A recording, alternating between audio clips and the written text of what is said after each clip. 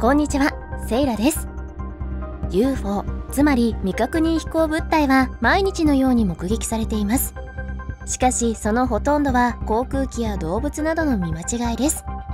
ところが今回は宇宙で巨大な立方体が発見されてしまいました。しかもその立方体は常に同じところにあるのです。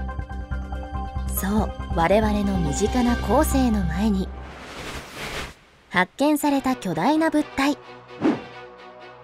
23年前スコット・ウェアリング氏が太陽圏観測器の画像解析中に発見し各ウェブサイトで話題になったこの物体は黒い立方体で常に太陽の前に位置していました。人々はこの立方体を UFO か NASA が隠している何かだろうと推理しました。ある UFO 研究家はこの立方体は12枚しか映らなかったものではなく複数の画像に映っている。大きさは 34km はあると言い NASA の画像だから合成ではないだろうという人もいます。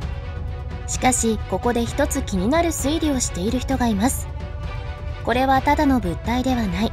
これは意図的にそこに置かれたものだと。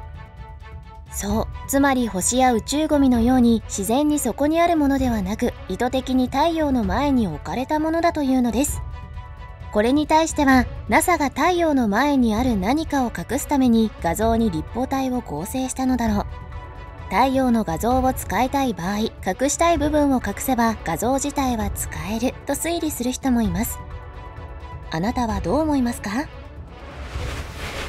ついに正体が暴かれる立方体。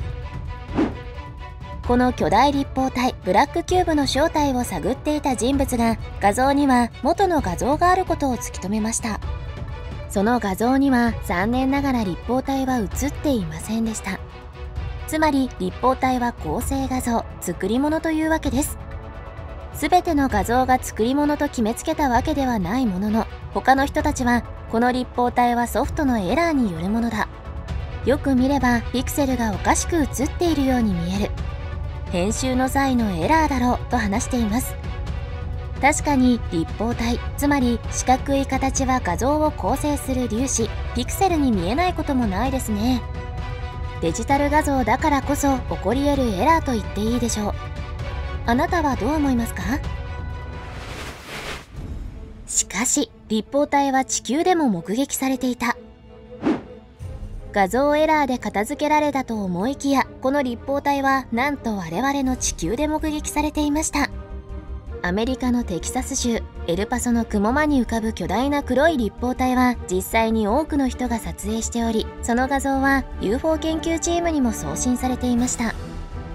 弁護士事務所で働くシングルマザーのアンバーもその一人で目撃した立方体についてチームのインタビューにこう答えています。あれは昼食から事務所に戻る時だったわ。最初は幻覚だと思ったわ。誰も信じてくれないだろうから物体の写真を撮ることにしたの。風船？と思ったけど物体が雲間から出てきた時は航空機や飛行機ではないと分かったわ。正直不吉に感じたくらい。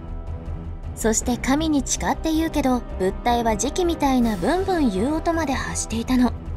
ゾッとしたわよ。私を疑う人たちには私はその場にいてこの目で見て写真まで撮って目撃者は私以外にもいたと言いたいわ。チームにはこの物体の正体を突き止めてほしい。そう語るアンバーが後に尿検査を受けたかは分かりませんがもし彼女の話が真実なら太陽の前が定位置だった立方体は地球に近づいたということになりますね。やはり地球を監視している何かなのでしょうか。立方体という新しい形が度肝を抜いた今回のスーパー大発見。この巨大立方体が意図的に置かれたものならそれは誰がそして何の目的で置かれたのでしょう。動かないということは乗り物ではなく監視システムや住居でしょうか。しかも太陽の前に置くということは太陽圏にある惑星例えば我々の地球などを監視しているのでしょうか。それとも音を発しているなら何かの信号を我々に送っているのでしょうか？あなたにはブラックキューブの信号が聞こえますか？最後までご視聴いただきありがとうございましたチャンネル登録、コメントよろしくお願いします。皆さんの応援が励みになります。